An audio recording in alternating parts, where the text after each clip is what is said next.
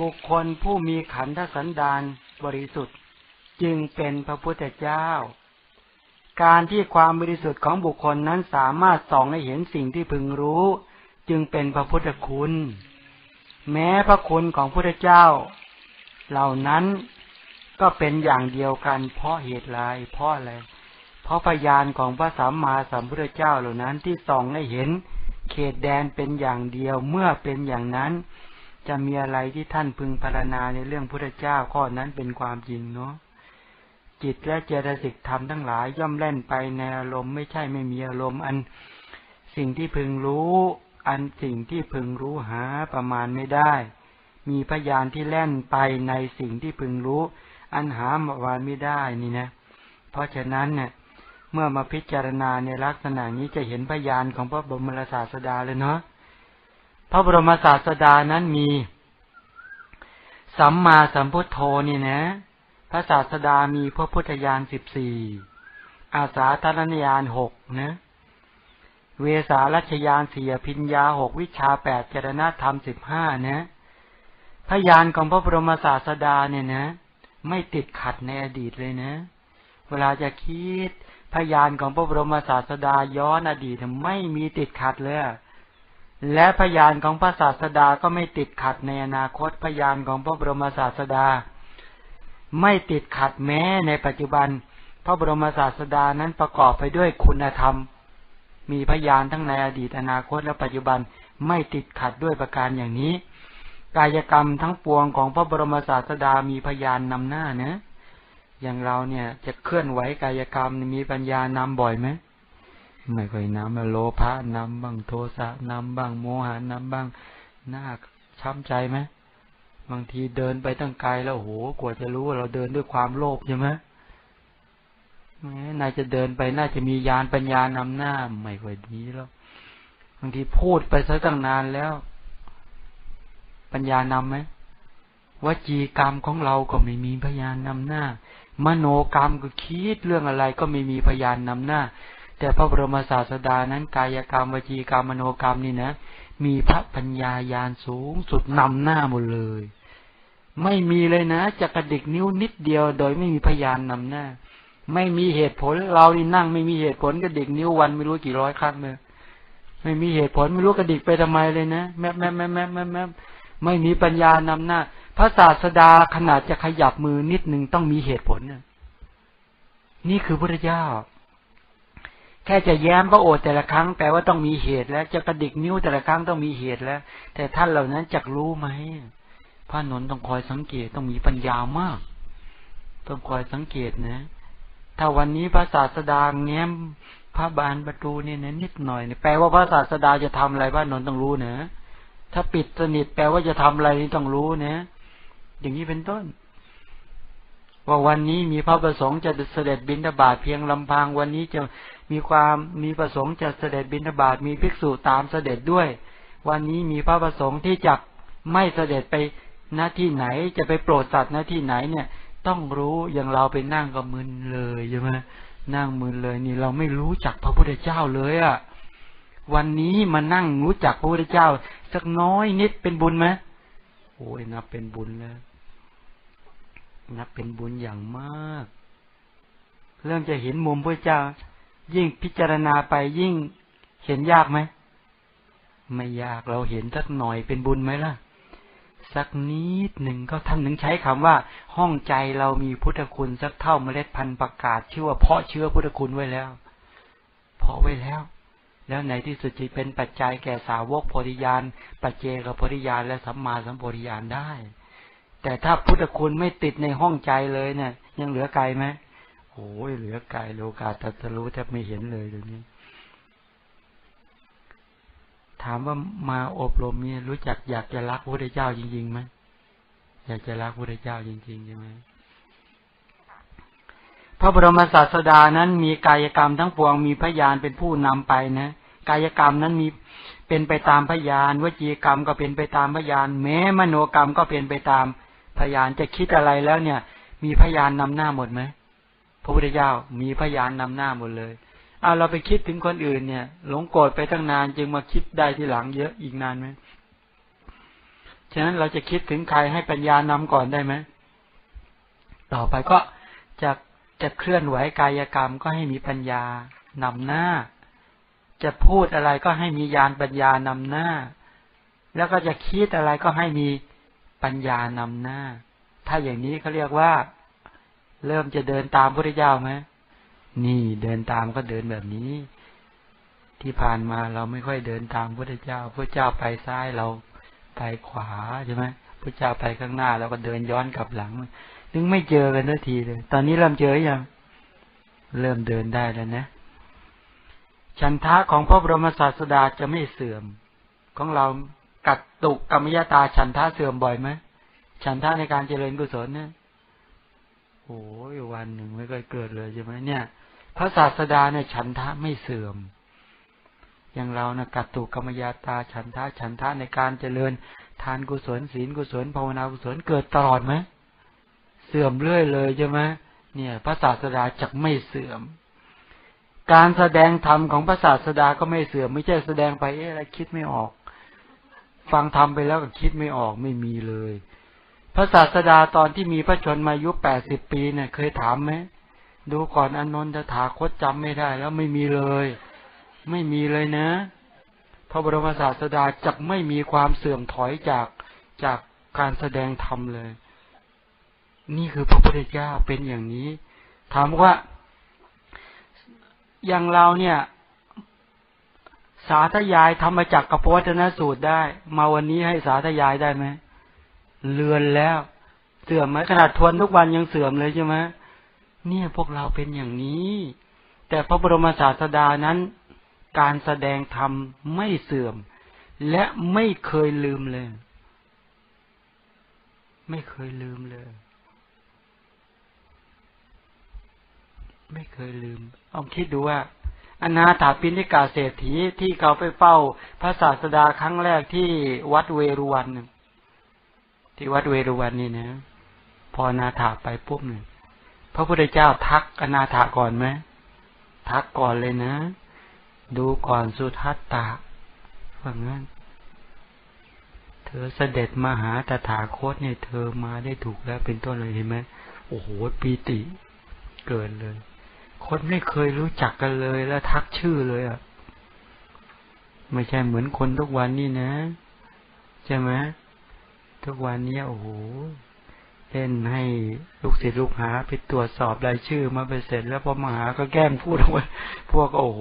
นี่นี่ยานปัญญาสูงเลยเนี่ยไปใหญ่เลยใช่ไหมไม่มีพระศาสดาไม่รู้ทะรู้ทะลวงไหมรู้แม้กระทั่งเมื่อแสนกับหลายล้านล้านกับที่แล้วมาเนี่ย เธอไปทำอะไร ไปเจ็บปวดอะไรมา ฉะนั้นถ้าเราไม่มีคุณธรรมความดีจริงๆเนี่ยไปเฝ้าพระศาสดา เราจะบอกว่าเราเป็นคนดีได้ไหมไม่ได้เลยต้องทำดีจริงๆไหมต้องเป็นคนดี ต้องเป็นคนดี เป็นคนขัดเกลาจริง ๆ น้อมสักการะบูชา พระสัมมาสัมพุทธเจ้าจริง ๆ นั้นพระศาสดาจึงเป็นบุคคลที่เข้าถึงได้ยากสำหรับคนคนชั่วทั้งหลายเข้าไม่ได้ ต้องคนดีเท่านั้น ต้องคนดีเท่านั้นที่จะได้มีโอกาสเห็นพระพุทธเจ้า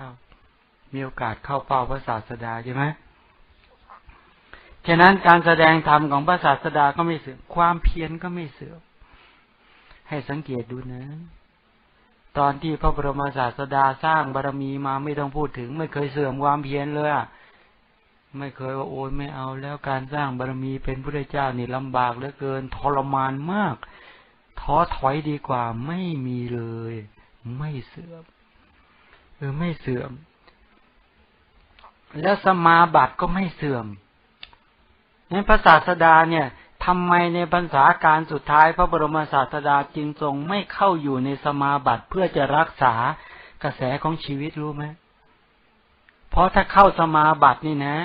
ชีวิตก็จะไม่ปรินิพานภายในสามเดือน ระองค์จึงต้องยอมให้โรคภัยไข้เจ็บทั้งหลาย เบียดเบียนกระแสขันของพระบรมศาสดา เพราะพระศาสดามีสัจจาวาจาไหมสัจจบารมีมีไหมฉะนั้นรับปากขพยาบาลว่าสามเดือนจะปริพานก็ต้องเป็นสามเดือนปรินิพาน แปลว่าพระบรมศาสดาทิ้งขันธภาระให้กับพยามารที่ขอ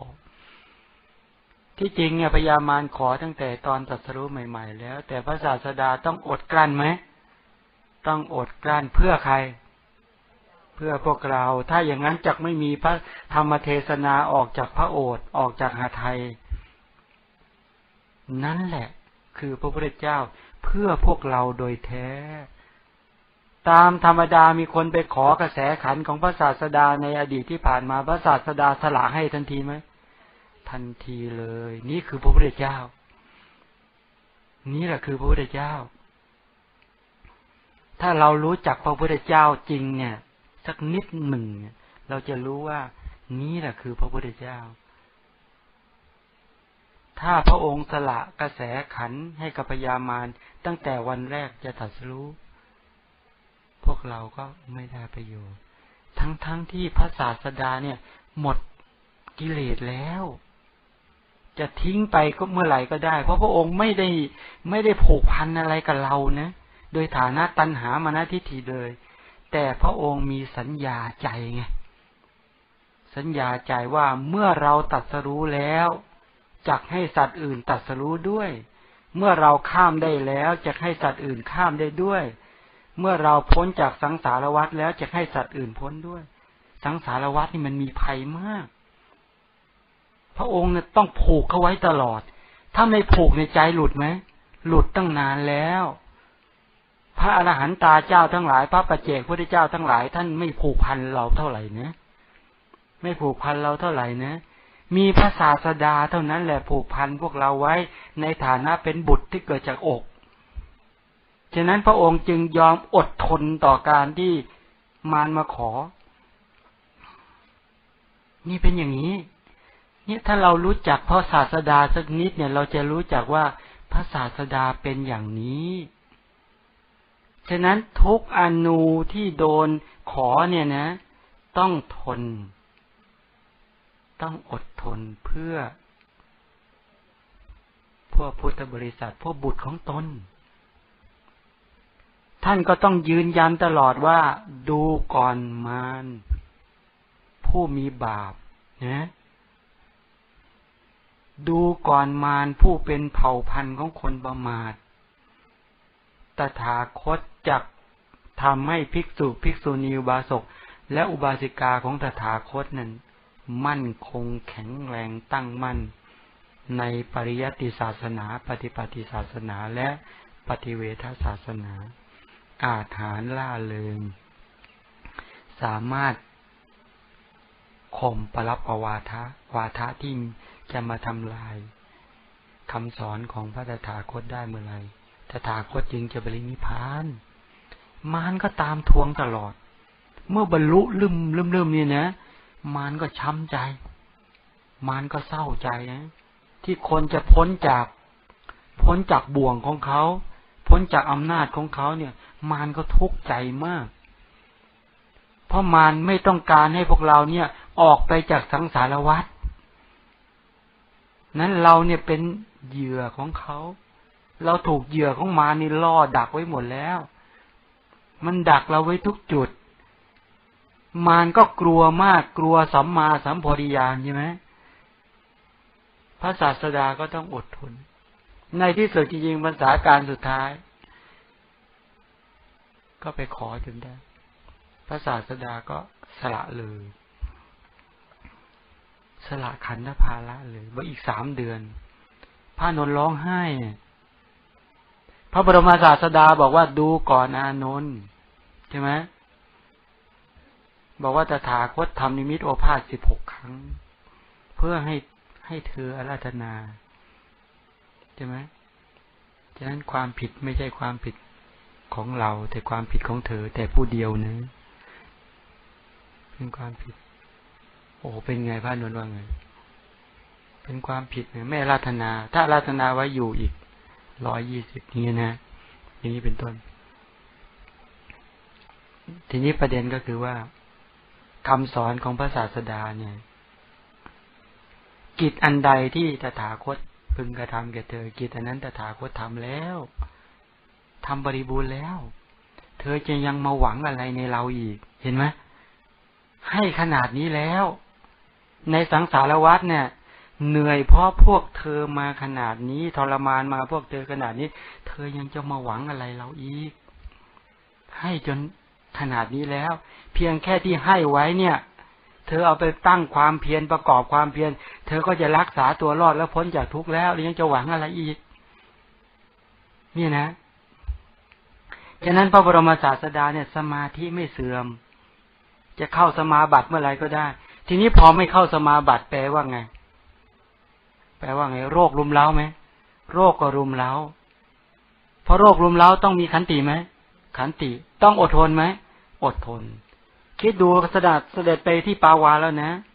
ไปที่ใกล้กุสินาราแล้วนะ ไปที่กุสินารานะ ระยะจากบ้านของนายจุนทกรรมลบุตร ไปที่ปรินิพานพระองค์ทรงหยุดยี่สิบห้าครั้งยี่สิบห้าครั้ง ให้พระนนปูราดจนบอกอีกครั้งหนึ่งก็บอกให้พระนนไปตักน้ำเราหิวน้ำคำพูดทุกคำนั้นบอกอะไร บอกธรรมสังเวคะจนครั้งสุดท้ายบอกดูก่อนนนนเธอจงปูราสังคติณที่นี้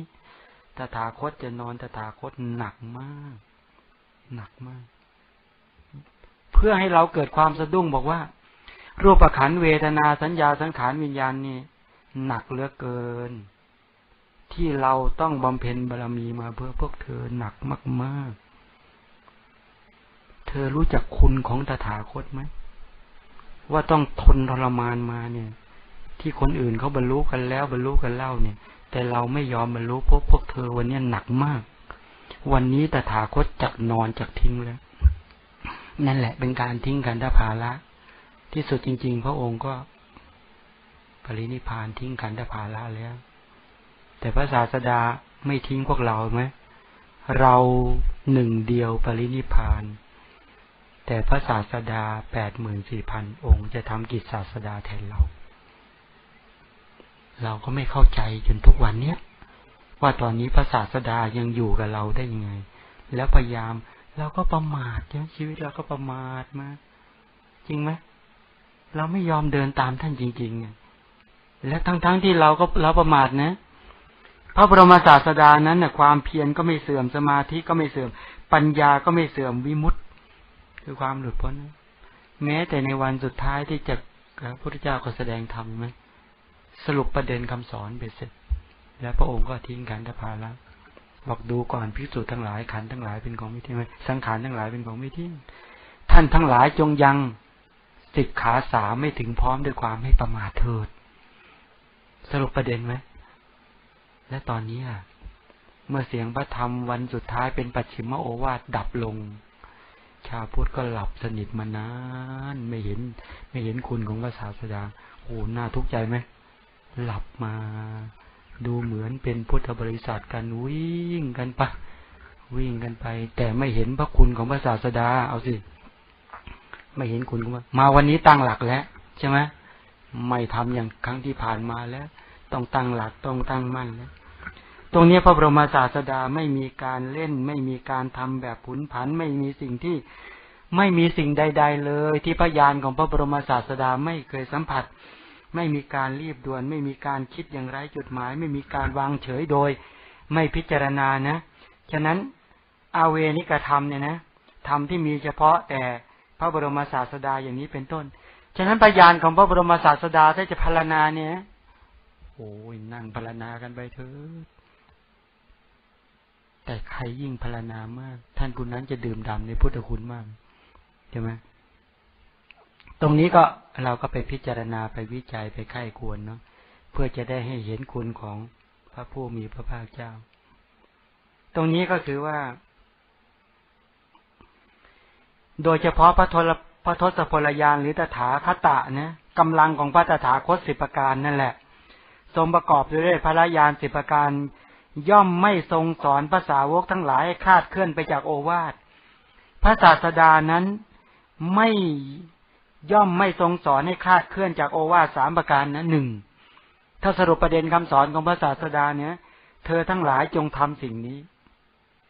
แปลว่าไม่พลาด ถ้าบอกจงทำสิ่งเนี้ยทำไปเถอะทำไปแล้วได้ดี เธอทั้งหลายจงทำด้วยอุบายอย่างนี้ แปลว่าอุบายวิธีข้อปฏิบัติ แล้วก็สิ่งนี้เมื่อเธอทั้งหลายกระทาแล้วจะเป็นไปเพื่อประโยชน์เกื้อกูลเพื่อความสุข ถ้าตรัสลักษณะอย่างนี้เดินเลย เช่น เดินตามทานศีลภาวนาเนี่ย เธอจงทำสิ่งนี้ และอุบายในการที่จะวิจัยเรื่องทานกุศลศีลกุศลและภาวนากุศลด้วยอุบายอย่างนี้ และเมื่อเธอทั้งหลายกระทาดำเนินไปตามทานศีลภาวนาแล้วจะเป็นไปเพื่อประโยชน์เกื้อกูลเพื่อความสุข จนถึงชั้นบรมสุขนั้นพระศาสดาจะสรุปประเด็นนะสิกขาสามก็ดีหรือประเด็นคำสอนทั้งหลาย แม้พุทธพจน์ทั้งหลายเนี่ย ทุกคำสอนจะสรุปลงสามประเด็นนี้ทั้งหมดเลยจะสรุปลงสามประเด็นนี้หมดเลยคำสอนทุกพุทธพจน์ทุกทุกวจนะ ทุกพระพุทธวจนะ จะสรุปสามประเด็นนี้ ถ้าใครสรุปสามประเด็นนี้ไม่ได้ อัฏฐะของคำสอนเข้าไม่ถึง อัฏฐะคำสอนก็เข้าไม่ถึง เพราะว่าเธอทั้งหลายจงทำสิ่งนี้ เธอทั้งหลายจงทำด้วยอุบายอย่างนี้ เมื่อเธอทั้งหลายทำจะเมื่อเธอเมื่อสิ่งนี้เมื่อเธอทั้งหลายกระทำจะเป็นไปเพื่อประโยชน์ เพื่อประโยชน์มีประโยชน์อะไรประโยชน์สามนะ โดยเฉพาะขับเน้นที่ปรมัตถประโยชน์คือประโยชน์อย่างยิ่ง และเพื่อเกื้อกูลแก่และเพื่อความสุข สุขสูงสุดคือบรมสุข สุขคือความสิ้นทุกข์ เป็นไปไม่ได้ที่สาวก ซึ่งพระบรมศาสดาสั่งสอนแล้วอย่างนี้พรั่งพร้อมแล้วอย่างนี้อย่างนั้นกระทาอยู่อย่างนั้น ปฏิบัติอยู่นี้จักไม่บรรลุถึง โลกุตละธรรม เป็นไปไม่ได้พระเจ้าประกาศโตมเลยเป็นพระทศพลยานเลย ถ้าเธอทำอย่างนี้นะ จงทำสิ่งนี้ทำด้วยอุบายอย่างนี้นะ และสิ่งนี้เมื่อเธอทั้งหลายกระทาไปอย่างนี้จะเป็นเพื่อเพื่อประโยชน์เกื้อกูล ถ้าสาวกทำถูกนะทำถูกอุบายถูกวิธีเงี้ย เป็นไปไม่ได้ที่จะไม่บรรลุโลกุตระภูมิ บรรลุ แต่ที่ผ่านมาเนี่ยเราสรุปคำสอนไม่ได้ เราสรุปไม่ได้ ฟังเอามาปฏิบัติ แล้วอุบายไม่ถึง เลยไม่ได้ประโยชน์เกื้อกูลและไม่ได้ความสุขใช่ไหมการการไม่ได้ความสุขก็แปลเราได้อะไร ได้ความทุกข์ตลอดกาลนานไหมตลอดกาลนานในนี้ต้องทำให้ดีนะ ตรงนั้นพระศาสดาก็ทรงสอนค่อนข้างเยอะ เป็นไปไม่ได้ที่บุคคลผู้เป็นพระสัมมาสัมพุทธเจ้าจะไม่ตรัสรู้ธรรมเหล่านี้ เป็นไปไม่ได้พระเจ้ายืนยันเลย พระศาสดาต้องตรัสรู้อริยสัจต้องตรัสรู้ธรรมเหล่านี้ แล้วก็เป็นไปไม่ได้ที่พระองค์ซึ่งเป็นผู้สิ้นกามาสวะภาวาสวะทิฏฐาสวะวิชาสวะแล้วอาสวะเหล่านั้นจะยังไม่สิ้น เป็นไปไม่ได้ เพราะพระพุทธเจ้าเป็นพระขีณาสมเนี่ย ขีณะบวกอาสวะ สิ้นกามาสวะแล้ว สิ้นทิฏฐาสวะ อวิชชาสวะ แล้วก็สิ้นภาวาสวะ สิ้นจากภพแล้ว สิ้นจากอาสวะทั้งปวงแล้ว สิ้นจากความไม่รู้แล้วตัดรู้แล้ว เป็นไปไม่ได้ที่พระองค์แสดงธรรมเพื่อประโยชน์อย่างใด ประโยชน์อย่างนั้นจะไม่สำเร็จเพื่อความสิ้นทุกข์โดยชอบ แก่ผู้กระทำตามได้จริงเป็นไปไม่ได้ เมื่อพระศาสดาเป็นไปไม่ได้ที่สาวกของพระองค์ซึ่งปฏิบัติธรรมสมควรแก่ธรรมปฏิบัติชอบปฏิบัติธรรมอยู่อย่างนั้น จะไม่กระทำให้แจ้งซึ่งการบรรลุธรรมวิเศษ อันโอฬารอื่นอีกโดยลำดับ ถามว่าถ้าใครประพฤติธรรมตามสมควรแก่โลกุตระธรรมเนี่ย บรรลุทุกคนไหมบรรลุทุกคน นี่เราไม่ได้ปฏิบัติธรรมตามสมควรแก่ธรรมไง เราไม่มีธรรมานุธรรมะปฏิบัตินั้นต้องเริ่มตั้งแต่สารณคมไหม เริ่มตั้งแต่สารณคม เริ่มตั้งแต่พุทธานุสติธรรมาสังขานุสติต้องเริ่มตั้งแต่ไตรสารณคมไป ที่สุดจริง ๆ บรรลุได้ บรรลุได้ ฉะนั้นถ้าเราจะพึ่งมารู้จักพระเจ้าวันนี้เป็นวันแรกก็ไม่เห็นแปลกใช่ไหมแปลกไหมไม่แปลกหรอกก้าวถูก ดีกว่าก้าวผิดมาทั้งสังสารวัฏจริงไหม ถ้าพระบรมศาสดาบอกเป็นไปไม่ได้ทำที่เป็นอันตรายกระทำอันพระบรมศาสดาตรัสไว้ ไม่อาจจะก่ออันตรายแก่ผู้ซ่องเสพได้จริง ถามว่ามาตุคาตปีตุคาตอาหารตคาตโลหิตตุบาททำสังฆเพศถามว่าเมื่อทำอนันตริกรรมเนี่ยเป็นอันตรายแก่ผู้กระทำแก่ผู้ซ่องเสพจริงไหมกายทุจริตวจีทุจริตมโนทุจริตก็เป็นอันตรายแก่ผู้ที่เสพได้จริงใช่ไหม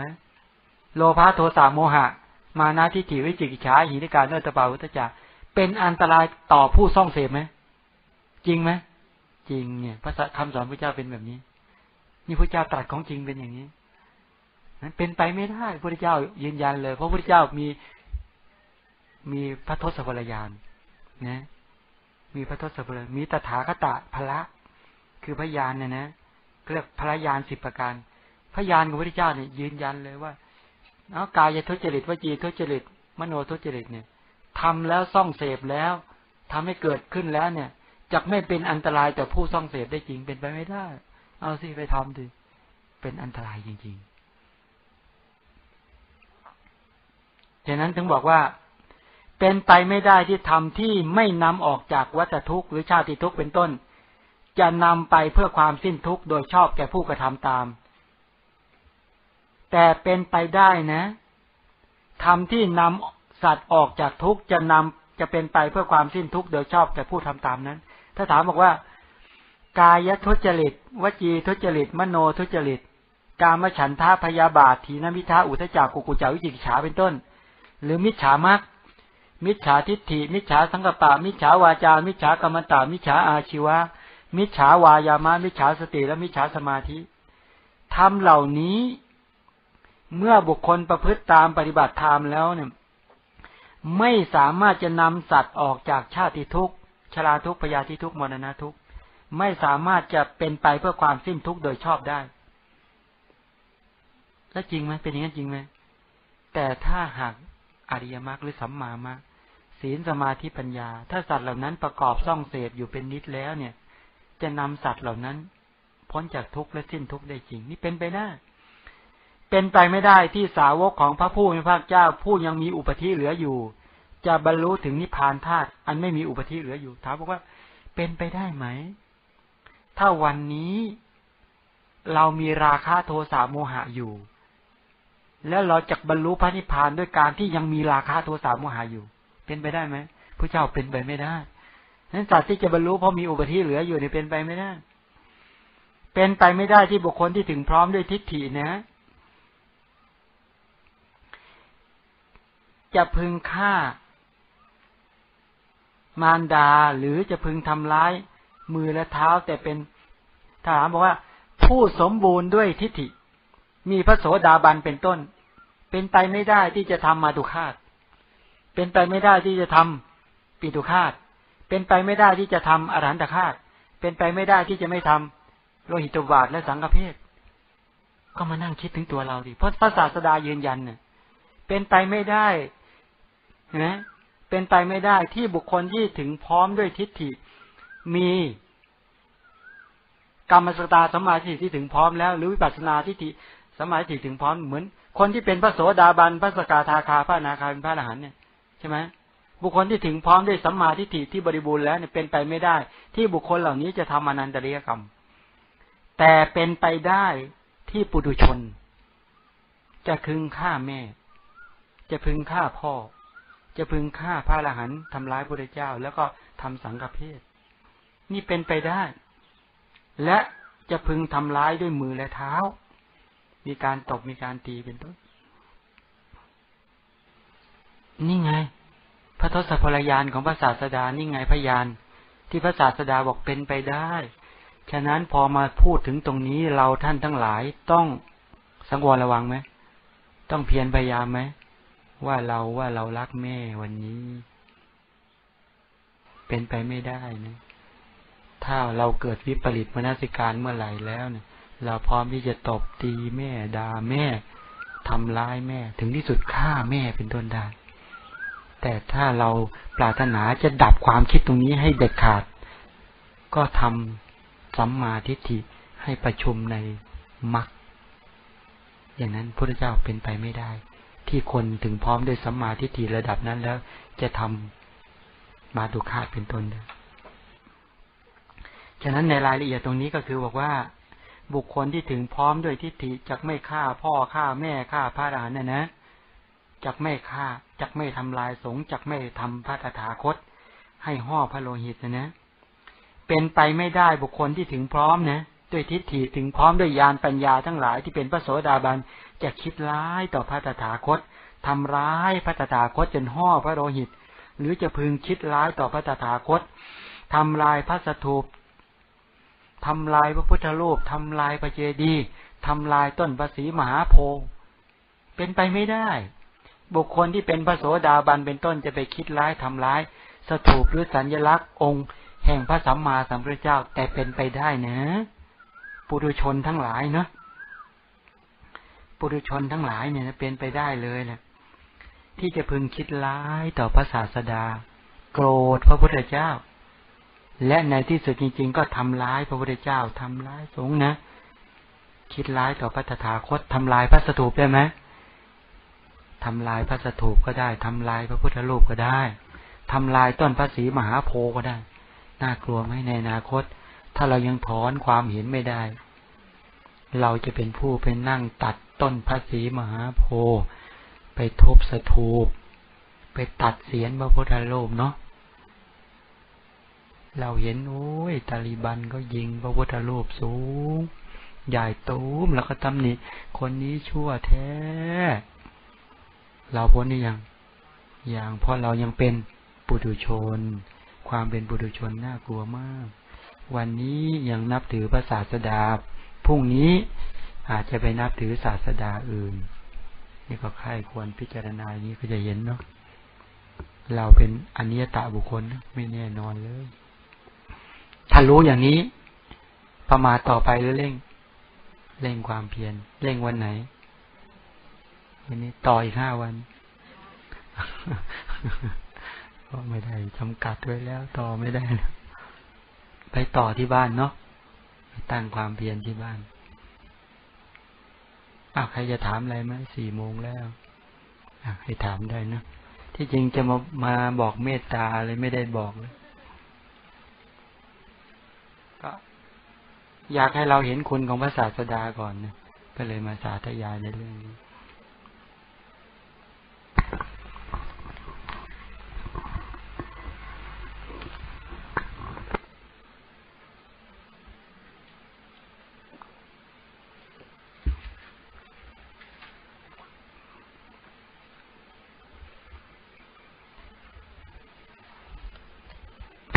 ราบขอโอกาสพระ อาจารย์เจ้าค่ะ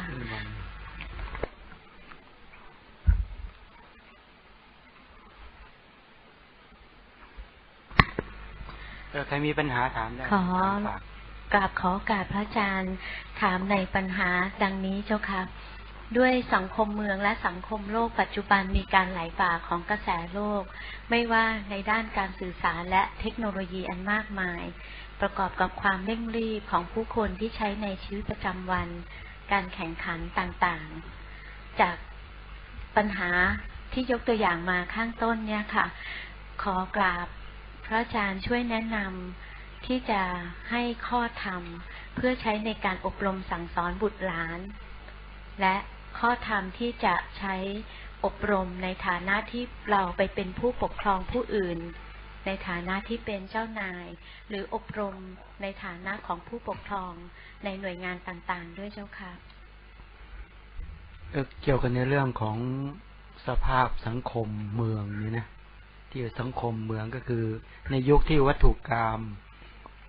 เฟื่องปูนะก็แปลว่า ถ้าเราพูดถึงในด้านของชั้นของมองภาพรวมของคำของของสิ่งต่าง ๆ นี่เนี่ยถ้ามองอย่างนี้ว่า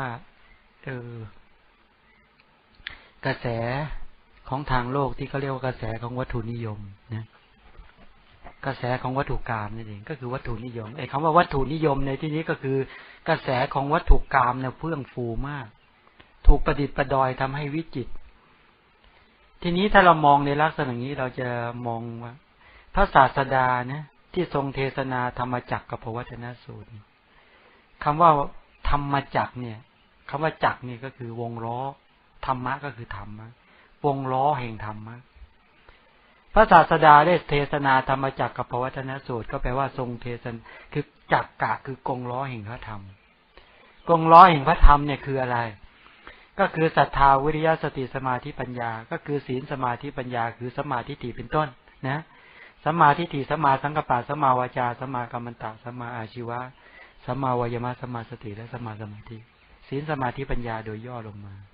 นี่กงล้อแห่งธรรมะเนี่ย เมื่อพระศาสดานั้นประกาศกงล้อแห่งธรรมะพระธรรมเหล่านี้ก็กลิ้ง หมุน หมุนก็คือกระแสชีวิตของสัตว์ สัตว์เหล่านั้นก็เปิดใจทำให้ศีลสมาธิปัญญาหมุนก็สู่กระแสใจ สัตว์เหล่านั้นก็เป็นผู้ที่มั่นคงอาถรร ใช่ไหมก็แปลว่าอะไร กระแสของพระธรรมเทศนาของพระศาสดาก็กลิ้งหมุนไปตลอด ตอนนี้ก็หมุนมาในประเทศไทย แต่ท่านผู้ใดนั้นมีศรัทธาในพระตถาคต ก็รองรับเอากระแสของธรรมจักร คือกองร้อยแห่งธรรมหมุนก็สู่ของกระแสชีวิตเขาก็ได้ดื่มด่ำรสของพระธรรมรสของความสุขจากการได้ประพฤติปฏิบัติพระธรรม ทีนี้ในด้านของกระแสเหล่านี้นะ ถ้าเราพูดถึงอาณาจักรเขาเรียกกงล้อแห่งอำนาจ ฉะนั้นอาณาจักรจากกธรรมจักรหรือพุทธจักรเนี่ยกงล้อแห่งพุทธธรรมกับกงล้อแห่งอำนาจเนี่ยกงล้อแห่งอำนาจก็คือการการแย่งชิง ทีนี้ศึกการแย่งชิงถ้าสมัยก่อนเนี่ย ถ้ากงล้อแห่งอำนาจก็มองถึงพระราชามหากษัตริย์ทรงมีพระราชอำนาจในการที่จะแข่งขันชิงดินแดนกัน ใช่ไหมแต่ในยุคปัจจุบันนี้หาเป็นเช่นนั้นไม่ ในยุคเช่นนี้เนี่ย การที่เขาชิงกันเนี่ย คือการที่กระแสของวัตถุกรรมทั้งหลาย กระแสของวัตถุนิยมทั้งหลายเหล่านี้ก็แปลว่า วัฒนธรรม ประเพณีต่าง ๆ เหล่านี้นะ หรือค่านิยมต่างๆ อันนี้มันเป็นระบบไร้พรมแดนแล้วฉะนั้นในยุคไร้พรมแดนทั้งหลายเนี่ย กระแสของวัตถุกรรมนั้นน่ะ ไม่ได้ถูกปิดกั้น ไม่ได้ถูกปุดปิดกั้น พอไม่ได้ถูกปิดกั้นกระแสของวัตถุกรรมทั้งหลาย ที่ไหลมาในฐานะเป็นวัฒนธรรม เป็นประเพณีเป็นค่านิยม เป็นเรื่องสิ่งของต่างๆ เนี้ยมันไหลมาจากรอบโลก ถ้ามันไหลก็สู่เมืองใด ประเทศใดกลุ่มใด ถ้าประเทศนั้นกลุ่มนั้น ไม่มีธรรมจักรไหมกงล้อแห่งธรรมะ ไหลเข้าสู่กระแสใจไว้ก่อน ใจของสัตว์เหล่านั้นซึ่งไม่มีหลักยึดเลย ไม่มีหลักของสัตทินรีที่แข็งแรงคือความเชื่อมั่นไม่หวั่นไหว ในคุณของพระรัตนตรัยเป็นต้นเหล่านี้นะ แค่หลักแรกไม่มีเนี่ยนะสัตว์เหล่านั้นก็ซัดสายซัดสายในความคิดความเห็นนะ ในส่วนจริงก็ถูกกระแสของวัตถุกรรมทั้งหลายไหลเข้ามา ถามว่าเยาวชนบุตรหลานญาติมิตรทั้งหลายของเราท่านทั้งหลายก็ไหลไปตามค่านิยม ค่านิยมของวัตถุกรรมทั้งหลายเหล่านี้ ในส่วนจริงก็เสพก็ติดกันใช่ไหมก็เสพติด เพราะอะไร เพราะว่าพื้นฐานความแข็งแรงในทางด้านของพระธรรมคำสอนของพระบรมศาสดานั้น ไม่ได้ลาดลดกระแสใจของเยาวชนหรือว่าพุทธบริษัทของพระพุทธองค์เลย ตรงนี้ก็เลยกลายเป็นปัญหา ปัญหาว่ามาในยุคปัจจุบันนี้เราก็จะได้ยินกันว่า เดี๋ยวนี้ คนไม่ได้สนใจพระธรรมคำสอนของพระศาสดาอย่าแปลกใจ ใช่ไหมในเมื่อค่านิยมทั้งหลาย หรือวัตถุกรรมทั้งหลาย หรือวัฒนธรรมประเพณีทั้งหลายเหล่านี้นะ แหล่งบันเทิงทั้งหลายที่มันไหลมาอย่างข้ามเขตแดนเนี่ยนะมันทะลักเข้ามาเต็มไปหมดแล้ว ทีนี้ยิ่งหลักใจของโดยเฉพาะคนไทย เป็นคนที่มีพื้นฐานทางด้านจิตใจนั้นน่ะ ไม่ได้น้อมเข้าใจในเรื่องการศึกษา แต่น้อมในเรื่องของการเสพติดและบริโภค ฉะนั้นเมื่อสิ่งใดทะลักเข้ามาเบ็ดเสร็จเนี่ยเราก็จะเข้าไปเสพติด เมื่อไปบริโภคเบ็ดเสร็จก็เสพติดใช่ไหมก็จะเป็นความสนุกเป็นความสนุกสนานความล่าเริงความยึดติดไปความเพลิดเพลินความลุ่มหลง ถ้าเรามามองในลักษณะนี้เราจะเห็นยังไง เห็นว่า แค่ แค่ผ่านมาทางจอโทรทัศน์จอทีวีทั้งหลายนี่ถ้าถามเด็ก ต้องถามเขาดูดีลูก ลูกดูละครเรื่องเนี้ย ดูเพื่อศึกษาหรือดูเพื่อบันเทิง เขาจะตอบดีก็ดูเพื่อบันเทิงเพื่อสนุก เขาไม่ได้ดูเพื่อศึกษาหรือวิจัย หาเหตุผลใด ๆ กับเรื่องนั้นเลย ฉะนั้นคำว่าศึกศึกษาศึกขาเนี่ยนะ ชื่อเป็นชื่อของศีลสมาธิปัญญาเขาบอกว่าพุทธบริษัทต้องศึกษาทานศึกษาศีล ศึกษาเมตตาเป็นต้นเหล่านี้หรือวิจัยศึกษาเนี่ยนะ ก็ไม่แข็งแรงทางด้านพื้นฐานทางด้านความคิดแล้ว แปลว่าตอนเนี้ย เด็กก็อ่อนแอทางด้านความคิด หรือเยาวชนทั้งหลายก็อ่อนแอทางด้านความคิด ทีนี้เมื่อเป็นอย่างนี้เราในฐานะเป็นผู้ใหญ่เผลอๆเราก็กลายเป็นผู้อ่อนแอทางด้านความคิดซะด้วยนี่ ไอ้ตรงนี้เราจะทํำยังไง สิ่งที่ควรตั้งหลักก็คือเมื่อศึกษาพุทธธรรมคำสอนของพระศาสดาเบ็ดเสร็จแล้ว สิ่งที่ควรจะติงเขาก็คือว่า ให้เขามองภาพรวมของศึกของการแย่งชิงใช่ไหม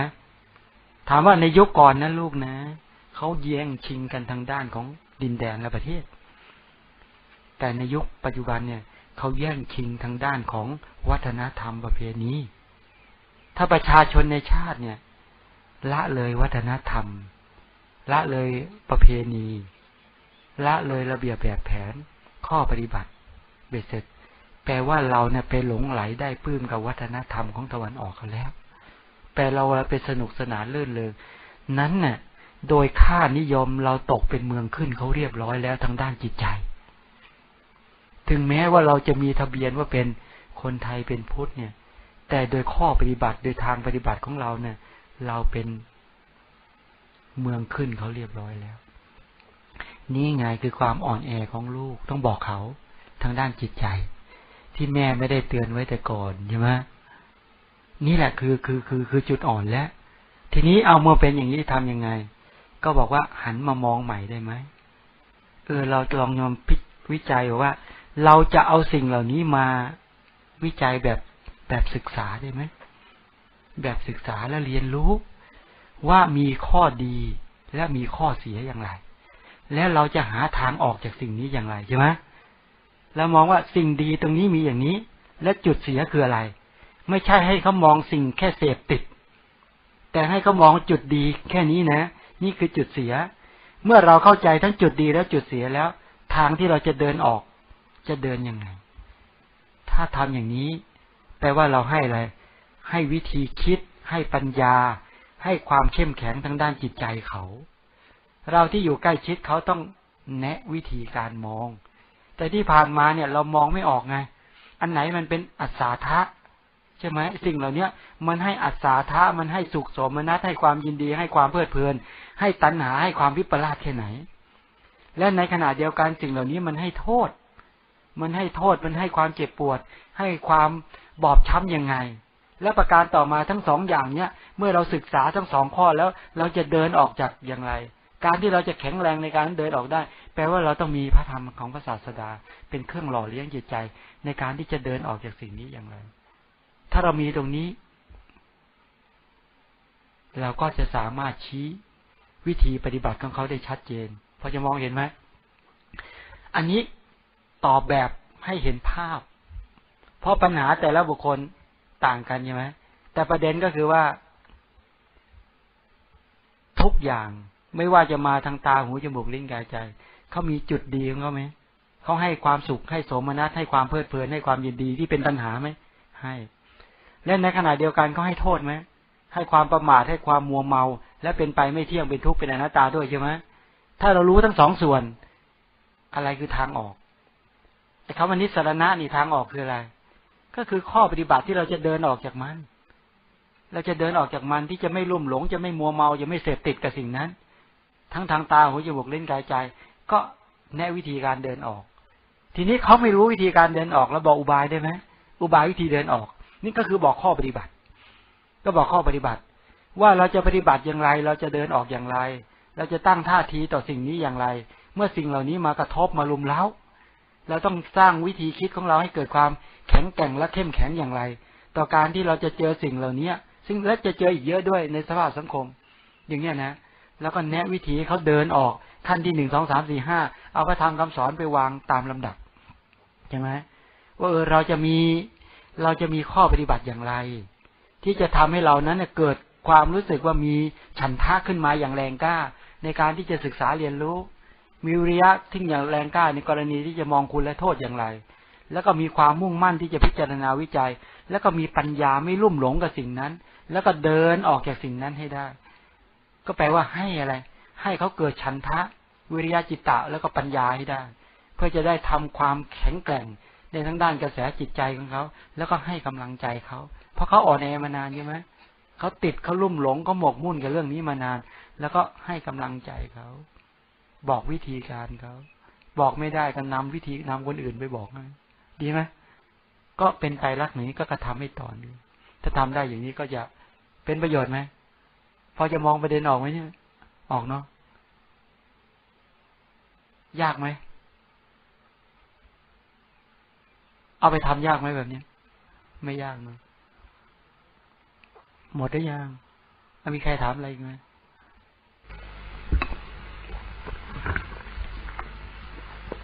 กราบนมัสการพระอาจารย์ค่ะ คือมันมีวิจิกิจฉาขึ้นมาเรื่องของอนาปานสติค่ะ เคยได้ยินมาว่าให้เจริญให้มากทำให้มากเนี่ยค่ะ อ๋อ เจริญให้มากกระทำให้มากมาจากว่า เออพระหูรีกตาเนี่ยกระทำบ่อยๆกระทำให้มาก ก็คืออย่างนี้คำคำนั้นเป็นชื่อของของสัมมาวายามะ ก็คือเพียรติดต่อ ความเพียรติดต่อในการที่จะตั้งสติในการที่จะระลึกมั่น อยู่ที่ลมหายใจเข้าและลมหายใจออก อยู่ที่จุดกระทบคำว่าทำให้มากในที่นั้นท่านขับเน้นว่าให้กุศลนั้นเกิดให้มาก แล้วก็เจริญให้มาก จนกว่าจะได้สมาธิที่มั่นคง และเมื่อได้สมาธิมั่นคงแล้วจะได้เอาฐานของสมาธินั้น เป็นบาตแห่งการเจริญวิปัสนา เพื่อความรู้แจ้งสภาวธรรมตามความเป็นจริง ฉะนั้นตราบใดที่ยังไม่ได้กระทำให้ติดต่อ ไม่กระทำให้มาก ไม่พยายามให้มากคำพยายามตรงนั้นไม่ใช่ทำไปเพราะความเครียด เพราะสภาพของกุศลธรรมเมื่อเกิดขึ้นมาแล้วจะเป็นไปกระโสมนัสและเบขาเท่านั้น จะเป็นไปด้วยจิตที่ผ่องใส แล้วจะเป็นไปด้วยความที่ปราโมทพิธิแล้วจะมีความเชื่อมั่นมากขึ้น เมื่อความเมื่อศรัทธาทำกิจในสมาธิสิกขา เมื่อยิ่งเห็นความสำเร็จของสมาธิที่เริ่มตั้งมั่น ความเชื่อมั่นในสมาธิสิกขาจะเริ่มตั้งมั่นขึ้น แต่เบื้องต้นก่อนที่เราจะทำสมาธิสิกขาให้เกิดขึ้น ความเชื่อมั่นในศีลสิกขาต้องชัดเจน แสดงว่า การพอกปูนศีลสิกขานี่แข็งแกร่งแล้ว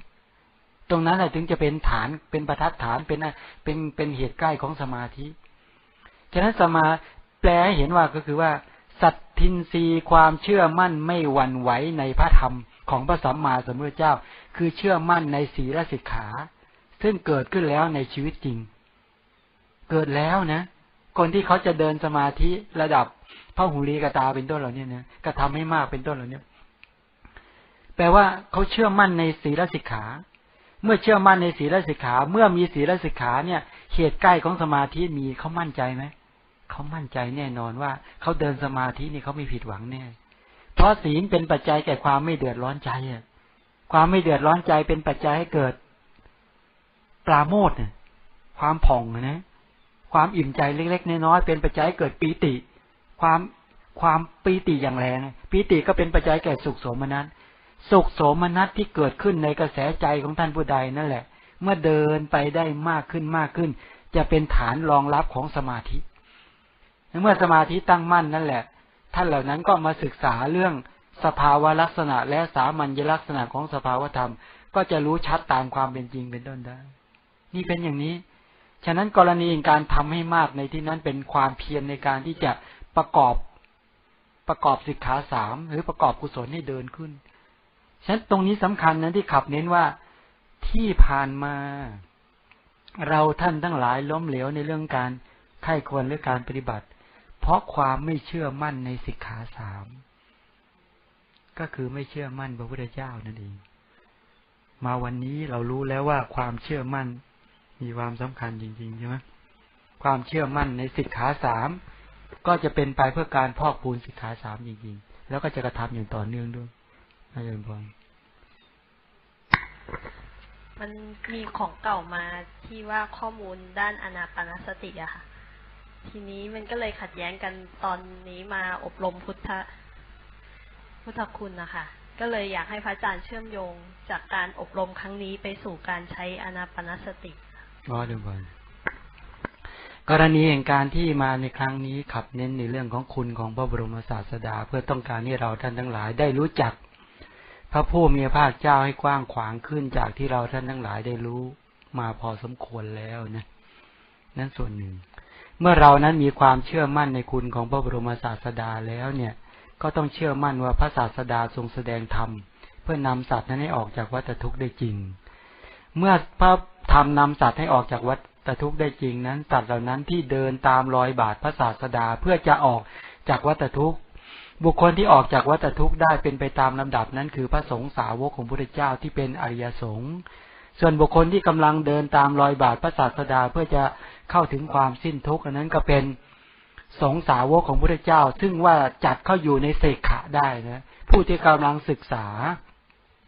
คำว่าผู้ที่กำลังศึกษาในที่นั้น แปลว่าผู้ที่กำลังพอกพูนบำเพ็ญ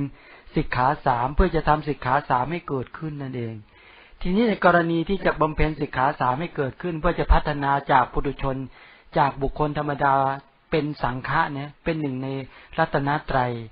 เป็นหนึ่งในในพระรัตนตรัยนั่นเอง นี่ก็มาพิจารณาบอกว่าเราจะเชื่อมโยงสืบค้นให้เชื่อมโยงกับคำสอนอย่างไร ถามบอกว่าบุคคลที่บำเพ็ญตามศีลปฏิบัติเชื่อมั่นในศีลสมาธิปัญญา ว่าศีลสมาธิปัญญาเป็นข้อปฏิบัติที่จะทำให้สัตว์เหล่านั้นพ้นจาก วัฏทุกข์ได้จริงนั้น บุคคลเหล่านั้นก็คือ บุคคลที่จะพัฒนาตนเองเป็นสังฆะทีนี้การที่เราจะพัฒนาตนเองเป็นสังฆะเป็นหนึ่งในสารณะนั้นก็คือว่าเป็นผู้ที่เดินตาม ที่นี้เมื่อจะเดินตามเบ็ดเสร็จบอกว่าในข้อธรรมที่พระบรมศาสดาทรงแสดงไว้ในมหาสติปัฏฐานสูตรในมูลปัญนาตก็ดีในทีคณิกายเป็นต้นก็ดี ที่พระบรมศาสดาทรงแสดงที่แคว้นกุลุ ปัจจุบันก็อยู่ที่เดลีเนี่ยนะ ที่เป็นบ้านเกิดของพระรัฐปาละเนี่ยนะฉะนั้นพระบรมศาสดาทรงแสดงที่แคว้นกุรุเพราะในแคว้นกุรุนั้นเป็นสถานที่ที่บุคคลเหล่านั้นนะมีความสัปปายะ ทั้งอุตุก็สัปปายะ อาหารก็สัปปายะ ที่อยู่ก็สัปปายะ แม้บุคคล แม้ธรรมะก็สัปปายะคำว่าบุคคลสัปปายะแปลว่าบุคคลเหล่านั้น เป็นบุคคลที่มีอัธยาศัยที่สั่งสมมาจากอดีต ถ้าชักอดีตก็เป็นเรื่องยาวเลยใช่ไหมชาวแคว้นกุรู้เนี่ยเขามาจากอุตรากุรู้ประเทศ ในยุคไหน ในยุคของพระเจ้ามันทาตุราชสมัยที่พระบรมศาสดาทรงสร้างบารมีต่อมาก็สืบเข้ามาตามหลับจนมายุคปัจจุบันก็เลยกลายเป็นแคว้นกุรุ มาในปัจจุบันนี้ก็กลายเป็นเดลีประเทศไทยประเทศอินเดียในปัจจุบันนี้ นั้นก็ว่าไปนั้นในเชิงของคำสอนความเป็นมา แต่ในแคว้นนี้แหละที่พระบรมศาสดาทรงพิจารณาดูแล้วว่า สมควรที่จะทรงแสดงสติปัฏฐานหรือธรรมะที่ลึกซึ้งไว้ในแคว้นนี้เป็นต้น เพราะเหมาะแก่ชุมชนในหน้าที่นี้ เพราะอะไร เพราะว่าชุมชนที่เนี้ยเขามีปกติที่ไม่ประมาท ไม่ประมาทเลยในบรรดาอุบาสกอุบาสิกาทั้งหลายในแคว้นนี้เขาเขาเจอหน้ากันเขาจะสนทนากันว่าท่านเจริญสติปัฏฐานหมวดไหน ถ้ามีใครคนใดคนหนึ่ง บอกว่าเราไม่ได้เจริญสติปัฏฐานบทไหนเลย ไม่ได้ปฏิพฤติปฏิบัติตามธรรมะของพระบรมศาสดาเลย เขาจะพากันนำหนีว่า ชีวิตของเธอเป็นหมันมาก เกิดมามีชีวิตอยู่ก็เหมือนกับคนที่ตายไปแล้ว คือสักแต่ว่าหายใจทิ้งไปวันวันหนึ่งเท่านั้น พระบรมศาสดาเสด็จอุบัติเกิดขึ้นมาไม่เป็นประโยชน์เกื้อกูลแก่เธอเลย น่าเสียดายนัก ก็จะพากันตำหนิพากันกระตุ้นเตือนในที่สุด คนในแคว้นนั้นก็จะพากันประพฤติปฏิบัติใช่ไหมแล้วก็จะเดินตามรอยบาท ฉะนั้นพระศาสดาก็แสดงในที่นี้เราแสดงอะไรแสดงอาณาปานนะทำไมพระศาสดาจึงแสดงอาณาปานะ เพราะพระศาสดาต้องการให้สัตว์เหล่านั้นพ้นจากวัฏทุกข์ ทีนี้การที่พระธรรมที่ทรงแสดงออกจากพระโอษฐ์ของพระศาสดานั้นน่ะ ที่จะทำให้สัตว์เหล่านั้นพ้นจากวัฏทุกข์ได้พระศาสดาก็รู้ว่า สัตว์เหล่านี้เป็นผู้ที่สั่งสม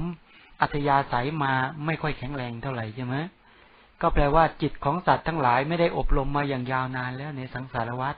มันก็วิ่งไปตามรูปารมณ์สัทธารมกันดารมละสารมบทอารมณ์อย่างยาวนานเลยฉะนั้นพระศาสดาก็เลยแสดงพระธรรม เพื่อเป็นอุบายให้สัตว์ทั้งหลายเนี่ย ได้เข้าถึงเข้าถึงอะไรได้เข้าถึงคำสอน ฉะนั้น การที่พระศาสดาประกาศพระธรรมเนี่ยประกาศอาณาปานะ คือพระพระศาสดาประกาศอะไร ประกาศสิกขาสามก็คือประกาศศีลสมาธิปัญญาใช่ไหมฉะนั้นเมื่อจะท่านพระศาสดาท่านบอกว่า เมื่อเธอปรารถนาจะพ้นจากวัฏทุกข์เนี่ยลำดับแรกถ้าจะเจริญอาณาปณสติเนี่ย เธอต้องตั้งมั่นในศีลก่อนเห็นไหมก็แกประกอบศีลที่เป็นไปในภูมิสีให้บริบูรณ์เบ็ดเสร็จนะตัดปริโภทกังวลเบ็ดเสร็จ เมื่อสิ่งต่างๆเหล่านี้ไม่มีค้างอยู่ในใจเบ็ดเสร็จแล้ว ก็อยู่ณอาสนะเดียวใช่ไหมก็พระองค์ก็สอนเลยหายใจเข้ายาว ก็รู้ชัดว่าหายใจเข้ายาว หายใจออกยาว ก็รู้ชัดว่าหายใจจะออกยาวแปลว่า ให้เจริญสติไหมเรียกอาณาปานาสติสมาธิ เป็นข้อปฏิบัติเลยเธอจงกระทำด้วยอุบายอย่างนี้นั่นแหละ เมื่อเธอกระทำด้วยอุบายอย่างนี้แล้วเนี่ย